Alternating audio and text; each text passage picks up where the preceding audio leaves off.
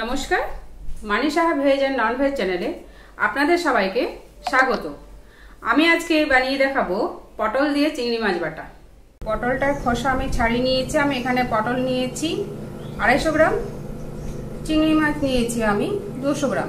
চিংড়ি মাছের নাকটাকে আমি ছাড়িয়ে নিয়েছি, তার জন্য নিয়েছি আমি কুড়ি গ্রাম রসুন। রসুনটা ছাড়ানো হয়ে গেছে।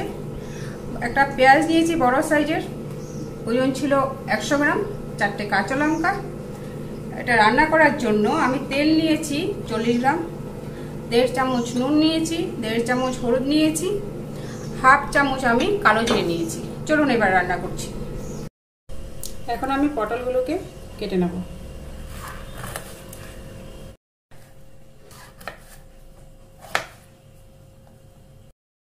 আমার পটল কাটা হয়ে গেছে। আমি এখন জল দিয়ে পটলটা সেদ্ধ বসিয়ে দেবো। হালকা সিদ্ধ করব ফুল সিদ্ধ করব না। আমি এখন পটলটাকে বসিয়ে দেবো। এখন আমি কড়াইটা গ্যাসে বসিয়ে দেবো। বসিয়ে আমি চিংড়ি মাছটা ভেজে নেব। চিংড়ি মাছের সামান্য হলুদ নুন দিয়ে মেখে আমি চিংড়ি মাছটাকে ভাজবো। কড়াইটা গরম হয়ে গেছে আমি এখন তেল দিয়ে দেবো। অল্প তেল রেখে দেবো আমার পরে লাগবে। চিংড়ি মাছটা এখন দিয়ে দেবো তেল গরম হয়ে গেছে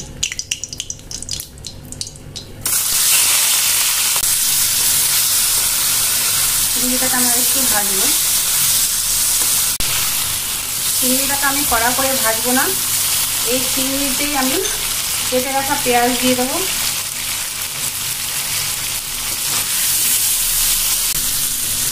পেঁয়াজটাকে আমি দু মিনিট ধরে ভাজবো তারপরে আমি রসুন দেবো, রসুনটাও আমি দু মিনিট ধরে ভাজবো। আজটাকে আমি মিডিয়ামে রাখব। এখন আমি একটু নুন, সামান্য পরিমাণে নুন দেবো। আর সামান্য পরিমাণে আমি হলুদ দেবো।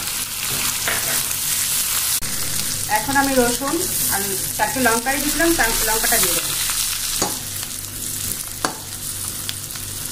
পেঁয়াজ, রসুনটা আমার ভাজা ভাজা হয়ে গেছে। আমি এখন সিদ্ধ করে রেখেছিলাম ওই পটলটাকে জল ঝরিয়ে এখন দিয়ে দেবো।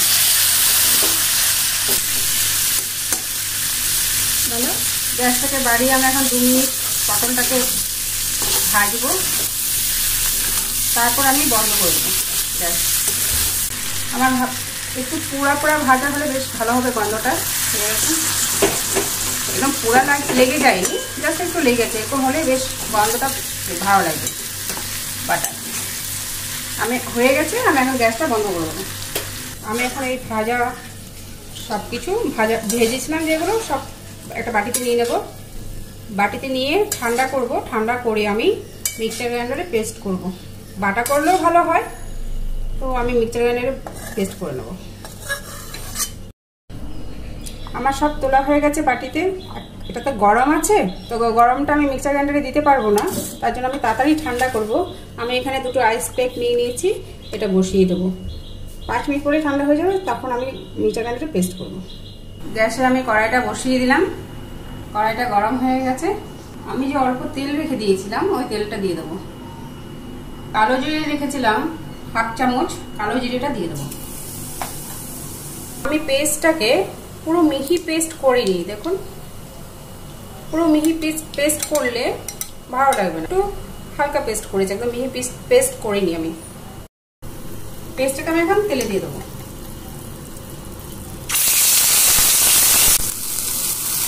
এখন দু মিনিট ধরে আমি গ্যাসটা একদম হাইয়ে যারা বাটা পছন্দ করেন মানে আমি খুব বাটা পছন্দ করি। তো জাস্ট জমে যাবে গরম ভাতের সঙ্গে। এখন দু মিনিট হয়ে গেছে। আমার বাটা কমপ্লিট আমি এখন গ্যাসটাকে বন্ধ করে দেবো। আর গরম ভাতের সঙ্গে জাস্ট ফাটাফাটি লাগবে।